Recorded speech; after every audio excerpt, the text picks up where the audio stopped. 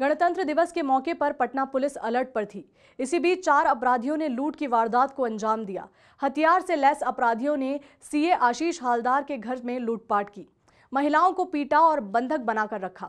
घटना पाटलिपुत्रा कॉलोनी के Lotus apartment की है। जानकारी के मुताबिक शनिवार दोपहर चार लोग लोटस अपार्टमेंट पहुँचे। इन लोगों ने गार्ड से कहा कि सीए आशीष से मिलना है। गार्ड ने उसे अपना मोबाइल नंबर नोट करने को कहा तो शातिर अपराधियों ने पटना एसएसपी का नंबर लिख दिया। आशीष घर पर नहीं थे। वह किसी काम से मुजफ्फरपुर गए थे। अपराधियों ने दरवाज़ा नॉक किया तो घर की नौकरानी ने जैसे ही दरवाज़ा खोला, अपराधियों ने उसे गन पॉइंट पर ले लिया। इसके बाद चारों घर में घुस गए। अपराधियों ने दोनों महिलाओं को पीटा और बंधक बनाकर उन्हें बाँध दिया। इसके बाद अपराधी अलमीरा तोड़ने लगे। अपराधियों ने करीब 18 लाख रुपए के गहने और 3 लाख रुपए नगद लूट लिए। पैसे और जेवर लूटने के बाद अपराधी चले गए। इसके बाद महिला ने पति आशीष को फ़ोन कर घटना की सूचना दी।